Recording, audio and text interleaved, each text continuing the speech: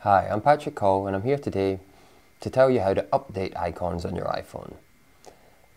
Now the icons for your apps change sometimes as the apps are updated. So you may notice that someone else has the same app as you with a different icon and you want to update it. So to do that, we go to the App Store.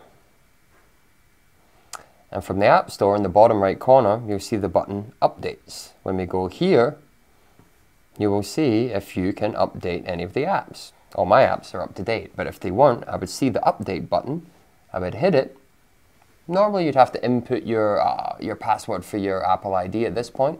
It would update the icon, and that's it. This is how you update your icons. I'm Patrick Coll. I hope this has been helpful. Thank you for watching.